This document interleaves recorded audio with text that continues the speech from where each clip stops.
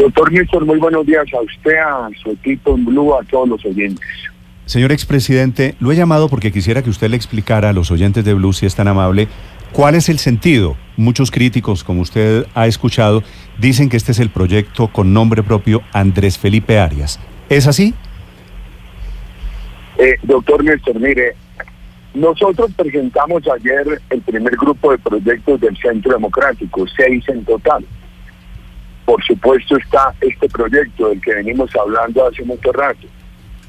Eh, por ejemplo, cuando en 2018 se aprobó el acto legislativo de la doble instancia quedó intemporal.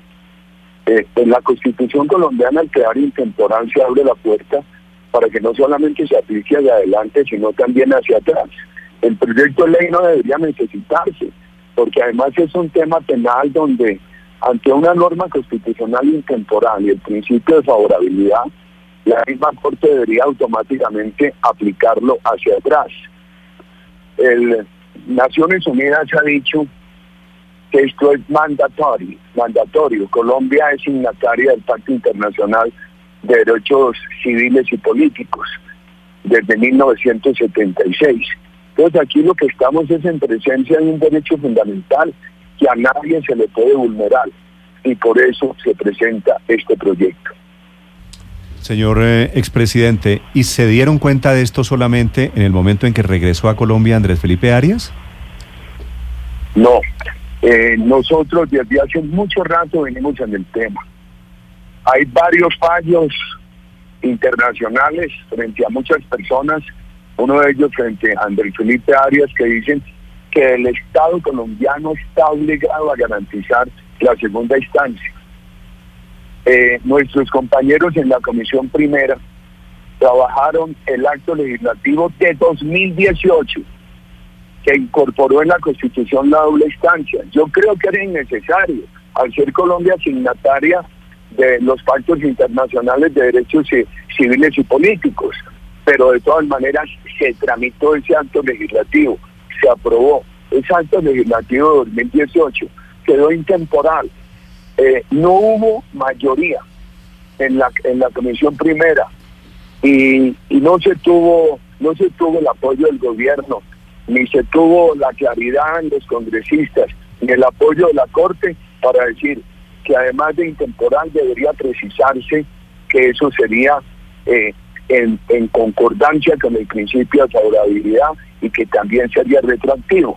O sea que, por ejemplo, yo que tengo esas investigaciones en la Corte Suprema, yo soy beneficiario de la doble instancia. Quienes fueron condenados con anterioridad hoy no serían. Y la Constitución, al garantizar el principio de favorabilidad y al haber incorporado ese acto legislativo y al ser Colombia signataria de estos, de estos, de estos acuerdos, garantiza esa doble instancia retroactiva. Simplemente se quiere atender un derecho fundamental. Sí, senador Uribe, usted me habla de que de que usted puede ser beneficiario de este proyecto. No, no, no, no, no, no, no. En el en los casos míos están todos hoy con el beneficio de la doble instancia.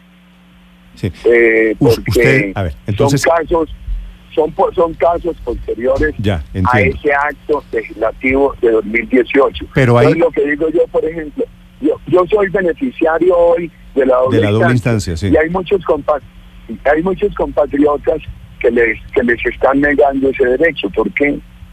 Pero si se hace retroactivo, sí serían beneficiarios personas cercanas a usted, por ejemplo, su primo Mario Uribe. Eh, ¿Usted no ha pensado no, ha, no ha pensado declararse impedido? Doctor Néstor, mire, el doctor Mario Uribe es primo segundo mío está en quinto grado de consanguinidad. Usted sabe que el impedimento es hasta cuarto grado. No me tendría que declarar impedido.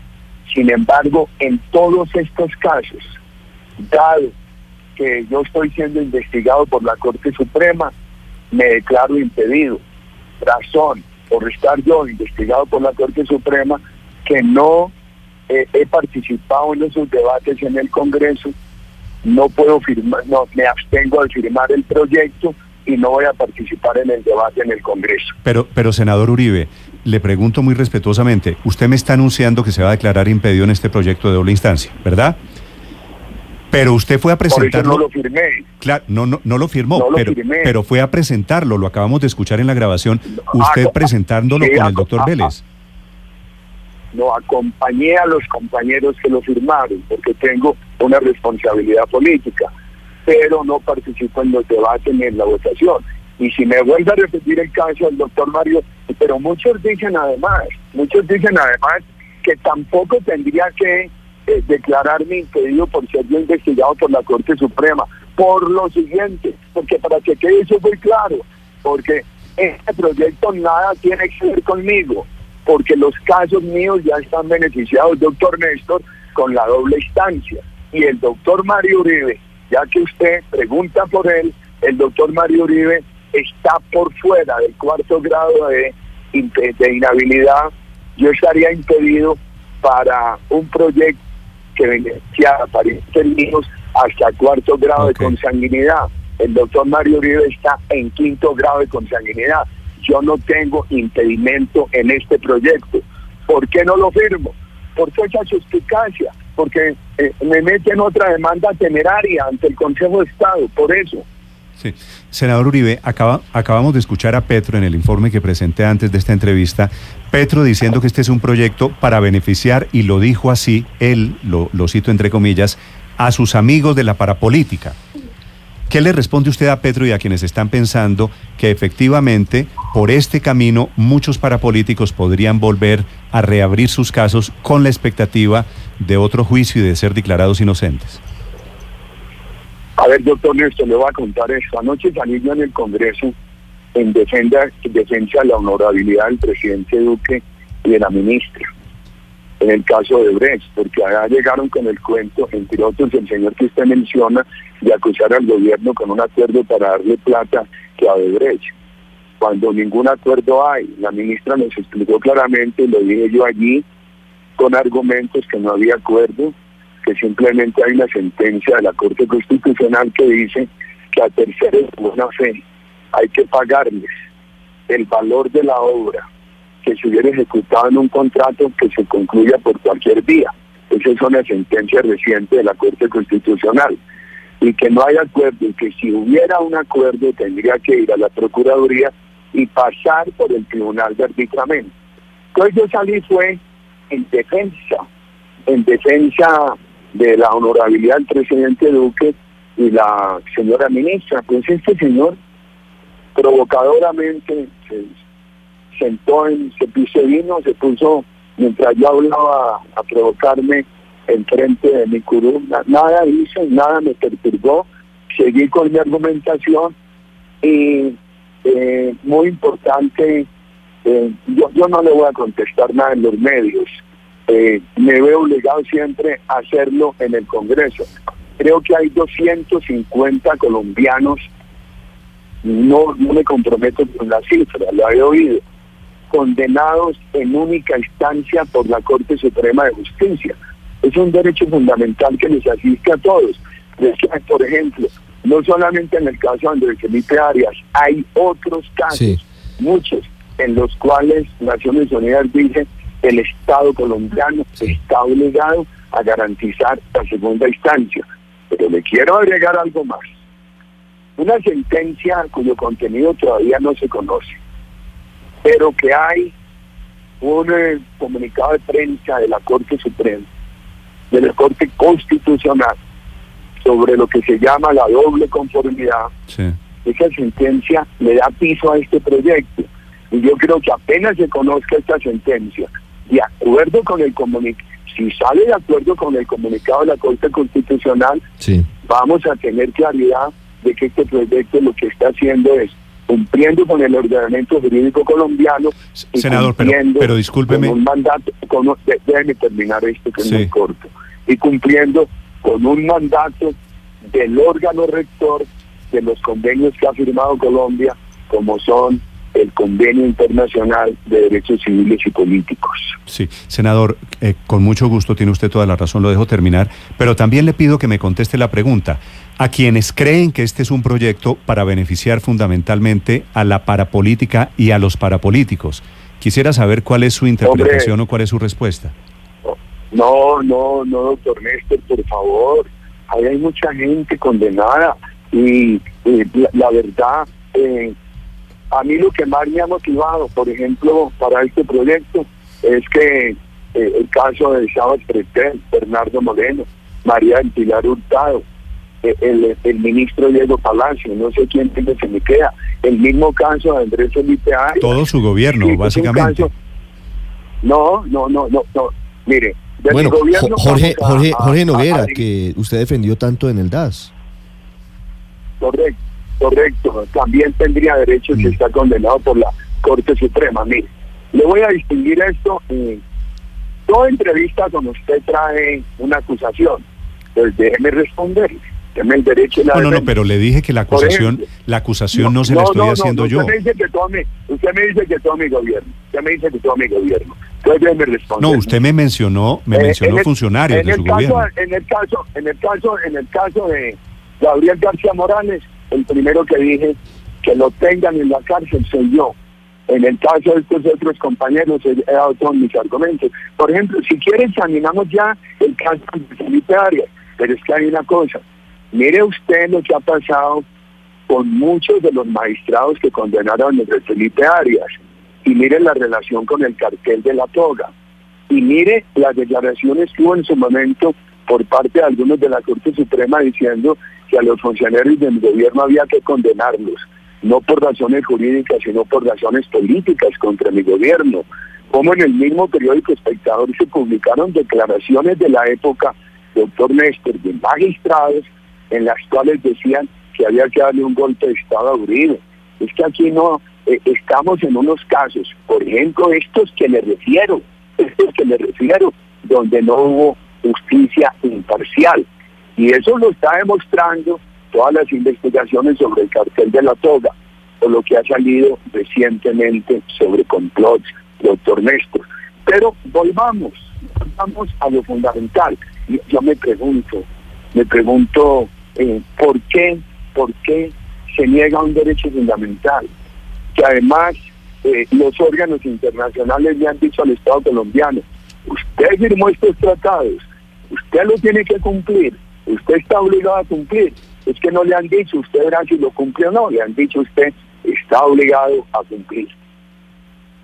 Pero presidente, aquí hay un asunto y es que desde 1991, que fue cuando salió la nueva constitución, se creó la nueva constitución, hubo un acuerdo de los políticos, de los congresistas, para que ese fuera su sistema de juzgamiento. Y se dijo siempre que la mayor garantía para los congresistas era la única instancia porque los máximos juristas del país, los integrantes de la sala penal de la Corte, iban a conocer de sus casos. ¿Por qué cuando empezaron a mandarlos a la cárcel con la parapolítica, con agroingreso seguro, con la GIDIS política, les parece que ahora sí tienen que revirar por derechos fundamentales como el derecho a la doble instancia, presidente? Vea, doctor Néstor, Doctor Ricardo, en este caso, ¿Quién es? Ricardo Espina, presidente. Buenos días, ¿cómo está? Ricardo Espina, presidente, ¿cómo está? Ricardo, mire, para que hablemos de parapolítica, queda muy claro esto. Y a mí no me gusta el oír temas, que sean pacientes. Yo, no hay en mi vida una sola reunión con paramilitares, una sola llamada eh, telefónica paramilitares un solo mensaje de paramilitares. El país conoce, lo dije cuando era candidato a la presidencia, al único paramilitar que conocí por mi vinculación a Montería, antes de que fuera paramilitar. Pude ser amigo de él, no lo fui. Si nos saludamos dos veces, no nos saludamos tres. Eh, porque él era de una familia que intervenía mucho en actividades comerciales de Montería, fue Salvatore Mancuso. Entonces, eh, ¿por qué repito el tema? Por una razón, porque eh, yo no tengo ningún interés para política, tengo un interés en unos compañeros de gobierno afectados justamente por una corte que tiene parte de los magistrados que los condenaron en el cartel de la toga. Por eso, ahora, déjeme otro debate con el Senado. Entonces, volvería a repetir esto y le preguntaré a alguien que le cuente al país de sus reuniones con los paramilitares. pero María del Rosario González, por ejemplo, presidente, María del Rosario González de Lemos es quien condena a Andrés Felipe Arias y ella no tiene una sola investigación ni una sola mención con el cartel de la toga. Entonces, eh, hay que tratar con justicia a los magistrados porque si hay uno o dos que tuvieron que ver con esas actuaciones, no son todos. Y son más recientes. Y son Leonidas Bustos y Gustavo Malo eventualmente. Pero en los casos adicionales no. Le voy a decir, ahí hay una, una firma de una magistrada que no estuvo en el juicio, la doctora María del Rosario González dijo que el gobierno mío, que yo la estaba presidiendo para hacerla matar, se declaró impedida y no le aceptaron el impedimento. A mí me parece que allí hay un problema. Si yo estoy en esa situación y no me aceptan el impedimento, de todas maneras, ante esa circunstancia, frente a ese gobierno, renuncio a esa ponencia. Y, si quiere, analizamos el fondo. Por ejemplo, condenan a Andrés Arias condenan a Andrés Arias porque, ahora, eh, usted dice que no hay sino dos magistrados, eso solo dice a la sentencia, eso solo tendría que producir una reflexión, el derecho a una segunda instancia. Pero si quiere vamos al fondo. Y hay una persona que no gusta mis ideas políticas, colombiano respetable, el doctor Moisés Basserman. ¿Por qué no lo leen? Déjenme hablar de dos argumentos. Primero, el contrato con el IICA. El ICA es una entidad adscrita a la OEA. Ellos no pueden declarar en Colombia porque tienen inmunidad, no declaran ante la justicia del país signatario alguno. Que han dicho por fuera de los estrados que ellos manejaron esa asignación de recursos de riego con total transparencia, sin injerencia del ministro, sin injerencia del ministro. Entonces, primero, no hay injerencia del ministro. Segundo, con esa entidad se ha contratado directamente porque es un organismo internacional del cual Colombia es miembro y puede haber convenios interadministrativos directos como puede haber en el derecho con organismos de derecho interno. Tercero, alguien dijo, pero es que no se podía sino para temas de tecnología y de ciencia, temas de tecnología que el bien. Pero vamos a otro tema, se se enriqueció a terceros Primero, las personas que cometieron ese fraude eh, no están en la cárcel, creo que han hecho un arreglo con la justicia, fueron unos casos de la costa caribe que subdividieron unos predios. ¿Usted sabe cuántos beneficiarios tuvo agroingreso seguro? 380 mil. Para que la doctora María del Rosario González diga que el ministro tenía que saber detalladamente pero, de cada uno. Saquemos, saquemos del tema a María del Rosario González. ¿Quiénes condenaron a Andrés Felipe Arias? Alejandro Ordóñez, que hoy trabaja en el gobierno del Centro Democrático, y Vivian Morales, él es el embajador en Washington, y Vivian Morales, que siendo fiscal, hoy es la embajadora del gobierno del Centro Democrático en Francia. ¿Usted cree que eso es fácil de entender? Le voy a explicar y espero ser claro. Primero, yo estoy en desacuerdo con las decisiones de ambos en ese caso, y se los he dicho con todo respeto. Segundo, el procurador lo condenó desde lo administrativo porque consideró que no se podía hacer contrato directo con el ICA. Tema tan discutible como se lo acaba de decir. Y contrato directo que por eso pero y yo lo que le quiero decir es no fueron no fueron unos señores con ganas de vengarse de Álvaro Uribe Alejandro Ordóñez no tenía ningún interés de vengarse de Álvaro Uribe, no, Vivian Morales tampoco. En ese, en ese momento había una enorme dificultad entre la Procuraduría y la Corte Suprema, no hablemos de eso, pero es que el tema de fondo es esto. Alejandro Ordóñez dice que no hay dolo, que no hay delito. No, pero él dijo que sí había dolo. En, uno, en uno. No, no, no, no, no, no, no. No, está claro, está claro. Senador en Uribe, en, en, uno de los delitos, en uno de los delitos por los cuales lo sanciona Ordóñez, dice que hay dolo, falta gravísima a título de dolo.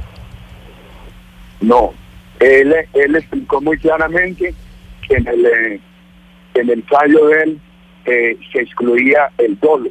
Entonces, es una de las diferencias entre el fallo de él y lo de la Corte Suprema de Justicia. Yo discutí con la doctora Vivian Morales y ella me dijo lo siguiente, que era que no se podía hacer un contrato directo con el IICA porque no era tema técnico ni de ciencia. Le dije, doctora Vivian, ¿qué cosa hay más técnica que unos, que unos sistemas de riesgo? Eso es hoy totalmente tecnología. Yo creo que ahí uno puede alegar un error sustancial de hecho. Senador. ¿Y qué le diría usted, senador Uribe, a los magistrados de hoy del Consejo de Estado que hace apenas algunos días ratificaron la sanción del procurador Ordóñez de la época contra Andrés Felipe Arias? Es decir, eso ya ha tenido revisiones, revisiones de carácter administrativo. Eh, les digo lo siguiente, hasta donde yo conozco, fuimos informados por el procurador Ordóñez, ahí no había un elemento de dolo constitutivo de delito. Pero, ¿y por qué no eso no permiten que lo discuta una segunda instancia? Y que una segunda instancia revise el otro tema, el tema de si hubo enriquecimiento de terceros. Que porque se acusa a Andrés Felipe Arias que habría hecho, habría tomado decisiones para enriquecer a terceros. Y eso no fue así. ¿Por qué no permiten entonces que una segunda instancia revise eso? O que revise el caso del doctor eh, Pretel o el caso del ministro Diego Palacio condenado porque le renovaron un contrato a un médico Barranca Bermeja. ¿Por qué no permiten eso, queridos amigos? Es aquí, eh, mire, a mí me preguntaba un colega de ustedes si en la segunda instancia condena entre Felipe Arias, pues uno dirá, hombre, discrepo, pero no hay nada más que hacer. Senador, eh, precisamente le quería preguntar de nuevo, hay quienes dicen que de fondo lo que hay aquí en esta presentación de este proyecto es una estrategia que lo que busca es quitarle la condena penal a Andrés Felipe Arias y habilitarlo para aspirar a la presidencia. ¿Qué le responde ustedes a ellos? ¿Usted, ¿A usted le gustaría que Andrés Felipe Arias sea candidato presidencial? Mire, me hubiera gustado muchísimo, porque yo lo conocí desde que él estaba en bachillerato. Además prestó servicio militar. Estaba yo en la universidad en Inglaterra, yo puedo ser su papá, y él estaba en la Universidad de California. Él es doctor en economía de la Universidad de California. Apenas se, estaba bien incipiente el email y él discutía mucho conmigo por email sobre las propuestas que yo preparaba para una candidatura presidencial. Eh, trabajó en mi gobierno, un hombre inteligentísimo, muy capaz, muy dedicado a la comunidad.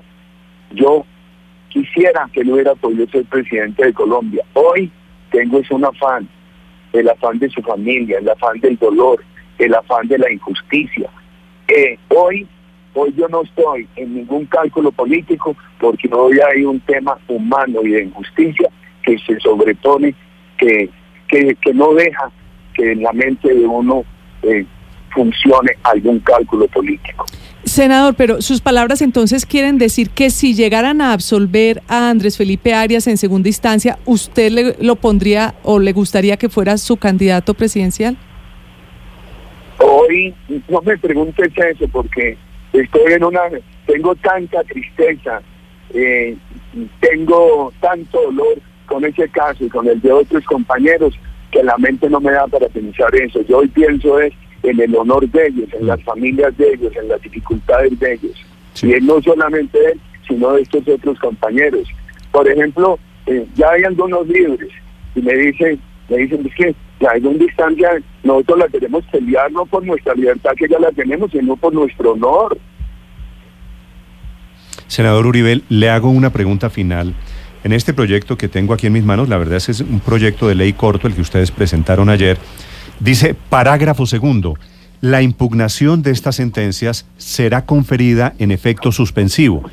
Es decir, si prospera la, la idea de crear una sala especial dentro de la Corte Suprema de Justicia, presentan ellos una impugnación y de inmediato todas estas personas de las que hemos hablado, Arias y María del Pilar Hurtado y todos ellos los que están en la cárcel, por supuesto, quedarían en libertad. ¿Esa es la idea que ustedes tienen? No, no, yo no soy partidario de ese punto. Sí, eso entró en el, en el proyecto, lo deben, eh, se debe suprimir, doctor Néstor. Antes de que termine la entrevista, se me permitiría una cosita muy breve. Pero, pero ¿por qué? ¿Me explica por qué no es partidario de este punto? Porque, porque no soy partidario de ese punto, porque agrega un elemento controversial innecesario. Por eso, para que no se diga que es para que salgan de Felipe la cárcel, etcétera. No, eh, yo no soy partidario de eso, agrega un elemento controversial innecesario. Aquí lo de fondo es entregar a que haya eh, una reflexión en la sociedad colombiana, en el Congreso, en todas las bancadas, de que por lo menos estos colombianos merecen la segunda instancia. Perfecto, aclarado eso, ¿qué, ¿qué, me quería decir antes de terminar la entrevista, señor? Hombre, sí, eh, primero le, le, agradezco a usted y a, y a, sus compañeros este espacio. Segundo, eh, yo le doy la cara a todos los temas. Hoy seguramente por falta de tiempo no se puede otros temas, pero cuenten con mi disponibilidad sobre todas las investigaciones contra mí, etcétera. Tercero, y con esto termino, salvo que usted me quiera preguntar algo. Este es uno de los seis proyectos que presentamos ayer. Nosotros insistimos en la necesidad de congelar, por lo menos durante seis años, de los congresistas. Ayer presentamos unos proyectos de medio ambiente muy importantes para que no eh, aquellos responsables para que los delitos contra el medio ambiente, mentira ilegal, eh, la afectación de la tubería petrolera, etcétera, esos delitos no puedan ser conexos con el delito político. Presentamos un proyecto para endurecer las pruebas contra los agresores de la fuerza pública. Hombre, este país tiene que aprender a respetar a los soldados y policías de la patria. Un proyecto para que los militares que estén eh, presos más de cinco años por delitos anteriores al primero de diciembre de 2016, para que esos militares o policías puedan tener libertad condicional con cinco años de pena privativa de la libertad. Y presentamos un proyecto para aclarar, un proyecto que establece cuáles deben ser los plazos máximos cuando, por ejemplo, una microempresa, una pequeña empresa, una mediana empresa le vendan almacenes de cadena o negocien con el Estado. Diferenciales, diferenciales. Hay las siguientes diferencias. Una cosa es el plazo cuando el proveedor es una micro o una pequeña empresa. Otro cuando sea una mediana empresa. Y otro cuando el comprador sea el gobierno. Entonces, esto hace parte del conjunto de proyectos que está estudiando el Centro Democrático y ayer ya presentamos seis. Le agradezco inmensamente que me permita ir a esos temas, doctor Néstor. Sí, señor, con mucho gusto. Senador Uribe, gracias por acompañarnos esta mañana. A usted muchas gracias, doctor Néstor.